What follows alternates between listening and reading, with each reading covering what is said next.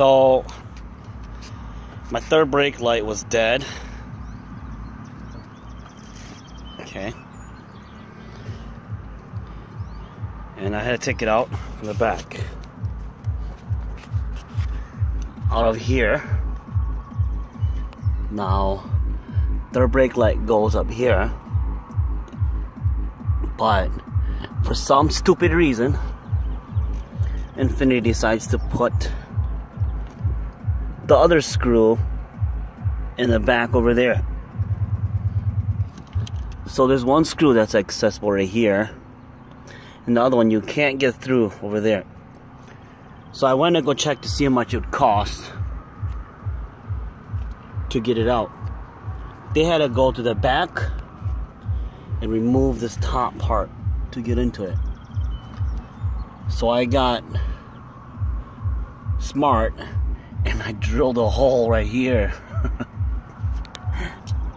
right through there to get that screw up there. And so this is how it looked like. Okay, it's working now.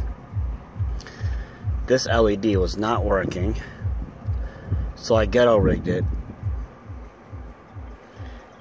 And I put another LED just right across it. At first it wasn't working. So I took out the diode that they have right here, which is usually the cause of dim lights or um, the LED is not working. And I replaced it with a diode with a value of 1N5408.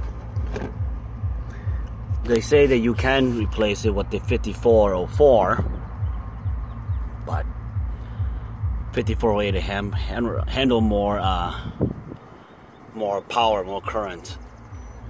Um, the original diode is 1N404 or 1N407, I believe, and uh, that's usually because the diode's not working well.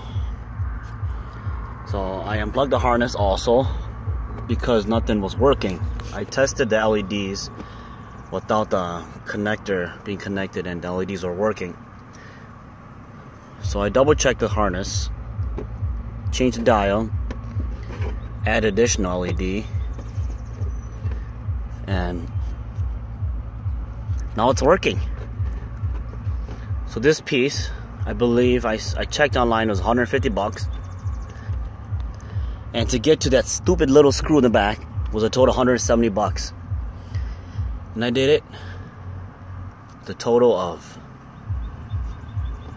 five dollars.